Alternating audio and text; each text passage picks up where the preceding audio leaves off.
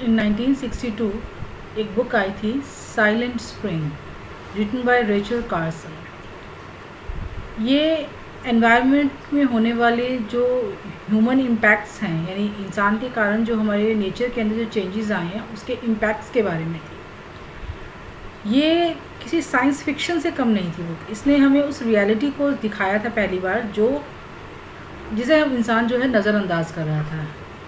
ये बुक थी बदलते हुए एनवायरनमेंट के अंदर, यानी जो ह्यूमन इम्पैक्ट है एनवायरनमेंट के ऊपर पॉल्यूशन है या डिफॉरेस्ट्रेशन है डिज़र्टिफिकेशन है, इन सब के कारण जो इन्वायरमेंट पे नेगेटिव इम्पैक्ट आ रहा था और जो नेचर जो रिटेलिएट करने की कोशिश कर रही थी और उसके कारण जिस तरह की तबाहियाँ हो रही थी या होने वाली थी, उन सब के बारे में थी। It was an eye opener 1967 के अंदर सबसे पहले आईपीएम टर्म जो थी वो यूज़ की गई थी। आईपीएम यानी इंटीग्रेटेड पेस्ट मैनेजमेंट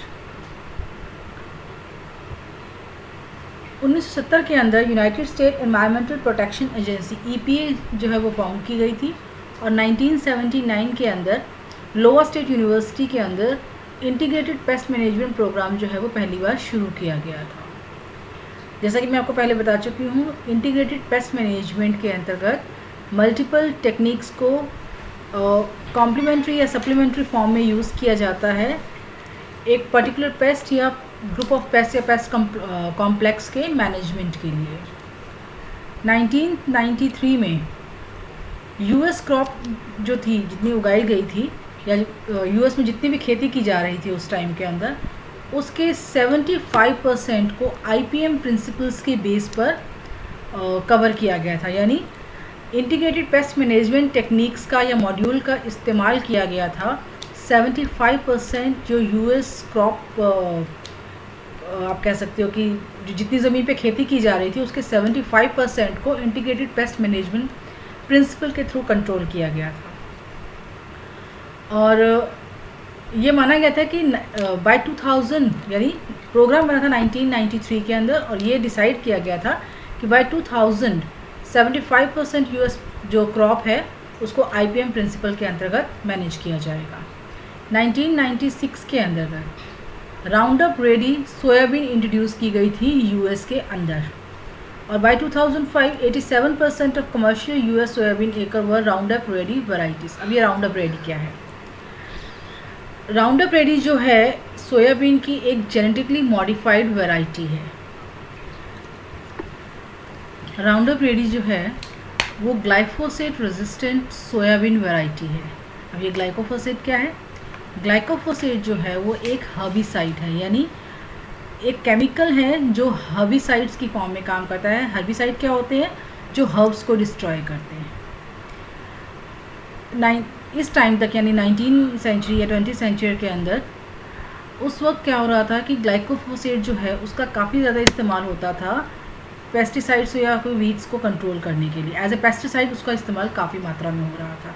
अब क्योंकि उसका इस्तेमाल ज़्यादा मात्रा में हो रहा था तो सोयाबीन की जो नॉर्मल वैरायटी यानी जो नेचुरल वैरायटीज़ जिनको कल्टीवेट किया जाता था, अब क्योंकि ये भी एक हर्ब ही है तो उसका प्रोडक्शन जो है वो बहुत घट जाता था। ग्लाइकोफोसेट के इस्तेमाल की वजह से। अब ग्लाइकोफोसेट जो है, उसका इस्तेमाल नहीं हो पा रहा था। मतलब उसका इस्तेमाल तो बहुत ज़्यादा हो रहा था तो उसकी वजह से सोयाबीन वैरायटी अच्छी से से कल्टीवेट नहीं हो रही थी। इसलिए genetically modified round up ready soybean introduce की गई, जो कि ग्लाइकोफोसेट रेजिस्टेंट थी। और बाय 2005 जो है 87 परसेंट जो सोयाबीन उगाई जा रही थी यूएस के अंदर, वो राउंड अप रेडी वेराइटीज़ को उगाया गया था। यानी इन ब्रीफ हम ये कहना चाहते हैं कि इंटीग्रेटेड पेस्ट मैनेजमेंट प्रोग्राम के अंतर्गत मल्टीपल अप्रोचेस को इस्तेमाल किया जाता है, जिसके अंदर ना सिर्फ़ हम पेस्ट को कंट्रोल करने की बात करते हैं, बल्कि हम हर उस तरीके की बात करते हैं जिससे हमारी प्रोडक्शन क्रॉप की प्रोडक्शन जो है वो इंक्रीज़ हो सके, जिसके अंदर जेनेटिक मॉडिफाइड क्रॉप्स का इंट्रोडक्शन भी एक टेक्निक है। In 1998 round up ready corn introduce की गई थी यूएस के अंदर।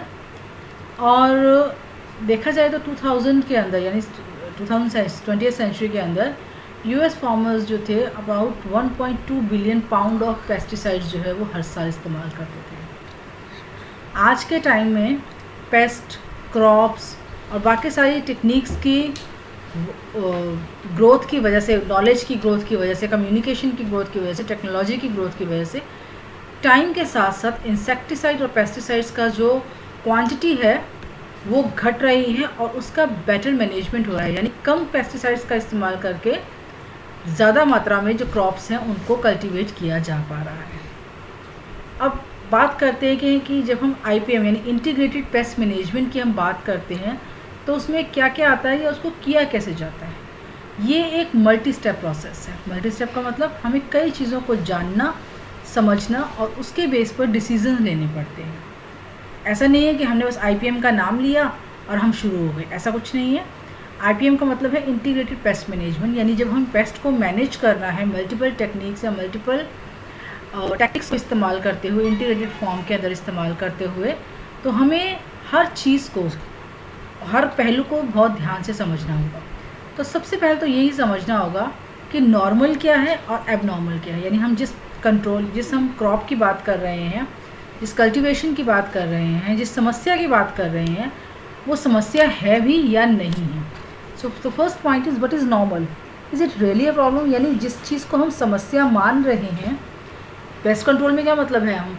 हम पेस्ट को कंट्रोल करना चाहते हैं। पेस्ट क्या है? जो क्रॉप को नुकसान पहुंचाता है। तो जब हम क्रॉप को नुकसान पहुँचाने की बात कर रहे हैं, हम किसी पर्टिकुलर इंसेक्ट की बात कर रहे हैं या किसी पर्टिकुलर पेस्ट की बात कर रहे हैं तो क्या वो वाकई में नुकसान पहुँचा रहा है या या एक उसका लाइफ साइकिल के प्लांट के लाइफ साइकिल का वो एक नॉर्मल पार्ट है? उस चीज़ को समझना ज़रूरी है। यानी ये नहीं कि हमने कोई इंसेक्ट देखा प्लांट के ऊपर हम शुरू हो गए कि हाँ इस पर पेस्टिसाइड डालना शुरू कर। नहीं, पहले हमें देखना पड़ेगा कि क्या वो पेस्ट क्या वो जो भी इंसेक्ट है, क्या वो वास्तव में कोई प्रॉब्लम कॉज कर रहा है? या फिर वो उस प्लांट का, के ऊपर उस इंसेक्ट का होना एक नॉर्मल प्रोसेस है। तो सबसे पहले तो समस्या को जानना ज़रूरी है, समझना ज़रूरी है नॉर्मल क्या है और प्रॉब्लमेटिक क्या है। तो सबसे पहले तो हमें ये समझना पड़ेगा इन दोनों टर्म्स का डिफरेंस कि जिस चीज़ को हम समस्या मान रहे हैं, वो एक नॉर्मल प्रोसेस है या वास्तव में कोई समस्या है। Second what is the problem यानी अगर हमें प्लांट की ग्रोथ के अंदर कोई नेगेटिव इम्पैक्ट या कुछ नेगेटिव नज़र आ रहा है तो हमें प्रॉब्लम को आइडेंटिफाई करना ज़रूरी है। प्रॉब्लम क्या है? प्रॉब्लम कितनी ख़तरनाक है? उसका लेवल क्या है? कितनी क्रिटिकल है? कहाँ से शुरू हो रही है, कैसे शुरू हो रही है, किसके कारण हो रही है।